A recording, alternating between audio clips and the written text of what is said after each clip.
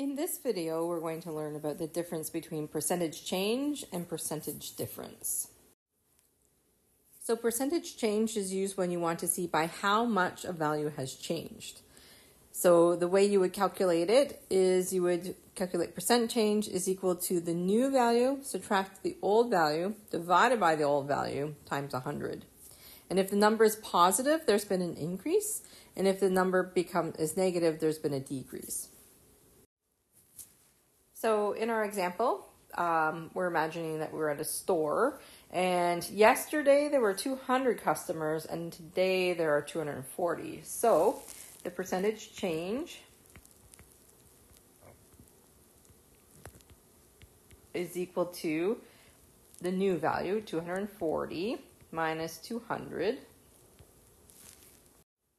We divide that by the old value, so 200 and then we multiply our answer by 100.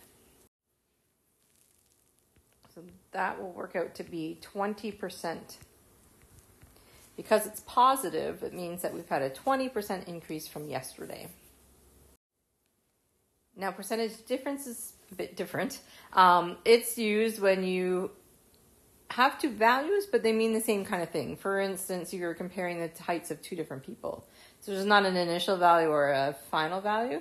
So you don't use this when you do have an initial or final. You would use the percentage change instead.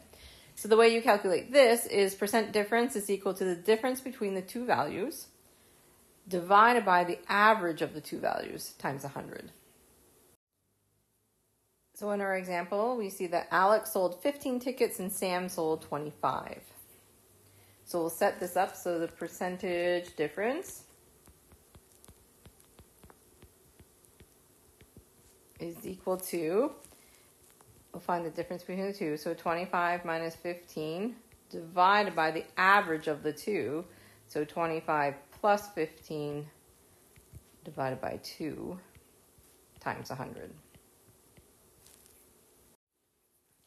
So that's equal to 10 divided by 20 times 100 equals 50% difference between the two values. So we don't know if it's an increase or a decrease. It, it doesn't matter. There's just a 50% difference in sales between the two.